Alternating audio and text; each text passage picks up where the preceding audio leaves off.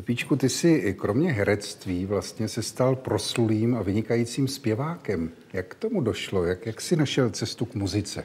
A no tak ono to zpívání mě prakticky eh, šlo se mnou to zpívání už v podstatě od narození, protože jako každá správná maminka z těch bývalých maminek, tak i ta moje mě učila zpívat už v kolébce nebo v kočárku, nebo když mě s sebou brala vyprat prádlo, tak mi celou tu dobu zpívala písničky.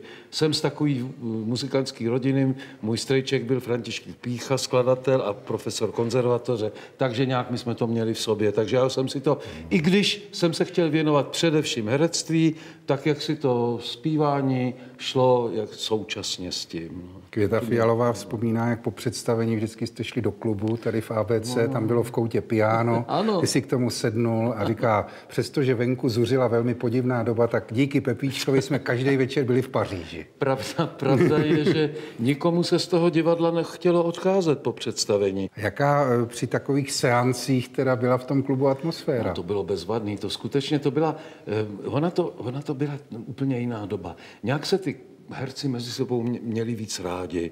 Rádi spolu poseděli, rádi popovídali. Já si vzpomínám, že třeba naše tanečnice nebo baletky, eh, když tady měli dopoledne zkoušku a večer představení, tak třeba ani nešli domů. Tady si prali prádínko, šili, vyšívali a hned to celý to spojil a pak to skončilo v klubu a když někdo tam chtěl jenom nahlédnout a učinil tak, tak to byla jeho chyba, protože já už tam seděl u piana, pak přišel Franta Plichta s trombónem, pak přišel Timich se saxofonem a hráli jsme a zpívali. Kolikrát ty Verich s náma byl až do rána. A pokračovalo to prakticky ještě i v té éře městských divadel pražských, kdy se to, to je převážně odehrávalo zase v komorním divadle, mm-hmm. v tom klubu. No, Ale tady to bylo vůbec nejlepší. Komorní divadlo v klub, na to no, vzpomínám. No, Taky let, kterou ano. ledvinu jsem si tam zničil, stejně jako AVC, to jsem ještě byl na Damu samozřejmě. Ano, ano, Ale tam to bylo velké. Ty jsi vlastně začal jako docela, řekl bych, hvězda eh, takový rokový muziky. Ale no, tak já jsem dělal, a podobně. Víš, já ti takhle řeknu, že my jsme, my jsme ne, to tak nerozeznávali, ty jednotlivé způsoby nebo ty žánry. Já jsem prostě zpíval písničky jistě tanečního charakteru, to znamená, pro nás to byl swing, buď to byl foxtrot, nebo slowfox, nebo waltz, nebo tango, a jinak žádné jiné pojmenování jsme neměli, to je až dneska. No a tak já jsem všechny tyhle ty písničky, které se mi líbily, jsem zpíval moc rád. Mm. A on do toho přišel i třeba já, pan Elvis Presley, s tím rock'n'rollem, ale já jsem si ho teď zrovna pouštěl ze satelitu, on zpíval tehdy úplně jiný eh, rock, než se tomu říká, jak se tomu říká dneska. Hmm. To byl krásný, melodický, i triolový. No to byla prostě doba. Tak tehdy musím říct, že jsem zpíval i rock and roll. A s Pepíkem, posledním mým bubeníkem od Karla Duby, jsme si z toho dělali občas taky, tak jsme si udělali parodii, on si navlík paruku, já vzal mikrofon do ruky, začal jsem se tam zpívat bíba, palula, bíba, palula.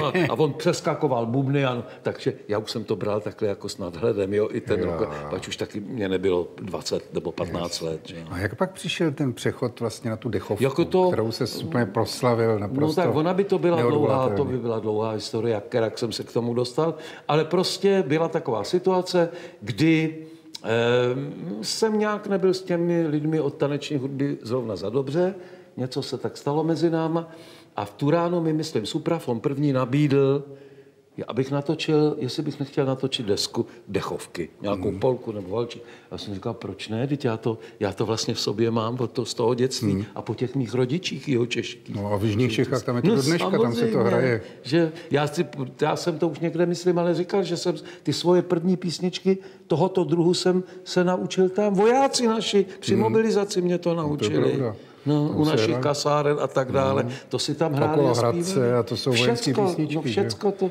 to už znám od, od, z útlého dětství. Jaksi, no. Takže nebyl pro mě problém natočit první polku, první valčík. My jsme dokonce první polku natočili ještě v éře, v éře taneční hudby s Evou Pilarovou. Ty to je jediný, to je to unikátní snímek. Já myslím, že úplně každý, kdo někdy koukal na televizi v té éře mého teda eh, mládí, dejme tomu, tak eh, nemůže zapomenout na pořad Sejdeme se na Vlachovce. Mm. Jak k tomu vlastně došlo? To byla legendární hospoda, Takhle, že? ono k tomu došlo tak, že ta dechovka, která byla do té doby poměrně v úpadku, Žádná média ji nepoužívala skoro. Leda ráno na 1. ledna, že hráli dechovky nějaké, aby pracující šli veselé do práce. Jo? Hmm. A začal s tím vlastně v podstatě Zdeněk Podskalský režisér, když začal před 70. rokem točit babičiny krabičky a ty vojenský písničky a řemesnický to. A pak to napadlo Františka Živného a Bouslava Nádvorníka, že když je tady ta hospoda, je tady ta písnička, padla facka, tak proč neudělat? Zkusmo takový pořád. Jo? Tak jsme ho zkusmo udělali tak na dvě pokračování, ještě s komparzem, no a pak jich bylo asi 240. Aha. No a tam někdy došlo k té spolupráci s tím orchestrem e, Sládkovým? Nebo... Ne, s Jirkou Sládkou, no to už jsem, s tím jsem spolupracoval prakticky tak od těch 60, od toho 68. 9. roku. Jo? Já jsem předtím spolupracoval s Karlem Dubou, ale ten nešťastně zahynul Jasně. tehdy v tom Mongolsku a Jirka Sládek mi nabít, protože už měl, on už měl kapelu, náš kapelník, který tady je s námi, ten u, to, u těch základů byl, u těch začátků a tam jsme se setkali s, se Sládkem, nějak jsme si padli do voka, no a byla z toho spolupráce, i když už ne s ním, ale přes 40 let. No kapelníka tady kapelník máme, tak ho sem pozvem, ne? Ano. Pojďte k nám. Každá správná loď má svého kapitána, že? A kapela má svého kapelníka. Jak se to tak stane, že se člověk z řadového muzikanta stane kapelníkem? No, mně se to stalo tak, že můj dlouholetý kamarád Jiří Sládek, s kterým jsem začínal jako student třetího ročníku konzervatoře eh, v orchestru Slávy Kunsta, mm-hmm. kde jsme se poznali, tak tam jsme, eh, tam jsme spolu začali hrát a potom ten Sláva Kunz dostal angažmá do rozhlasu jako hudební redaktor, takže už neměl čas na kapelu, takže Jirka Sládek společně se mnou a s Karlem Pilarem a dalšíma, dalšími kolegy eh, jsme si udělali orchestrální zkoušky profesionální a od toho roku vlastně 66 vlastně jsme doprovázeli různé popové zpěváky jako Karla Hálu, Juditu Čeřovskou a spousty dalších. Mm-hmm. A potom eh, po roce 19, v roce 1968, kdy zahynul eh, or, velká část orchestru Karla Duby v Mongolsku, tak zkrátka byl naším, naší hlavní hvězdou vlastně kapely Pepa Zima a od té doby zkrátka jsme ho doprovázeli a já potom teď posledních šest let, kdy odešel náš kapelník Jiří Sládek, tak jsem to jako převzal tu, to hmm. žezlo po něm. No jak se spolupracuje s Pepíčkem Zímou?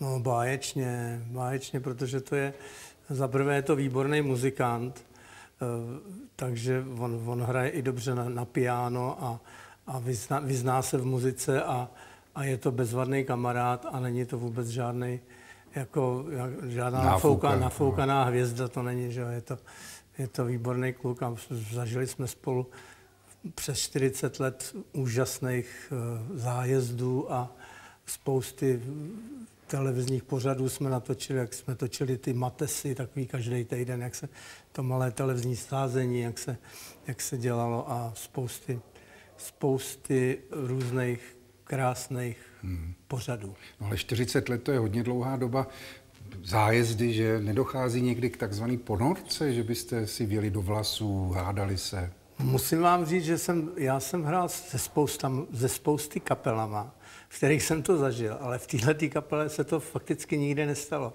Nevím, čím to bylo, jestli to bylo tím, eh, tím tou osobností toho Pepy, který jako nikdy nedělal žádného frajera. Prince Radován, no, tam u, no, něj se nemůžete no. hádat, že Bylo to fakticky vždycky v, v obrovské pohodě a v, v obrovském klidu.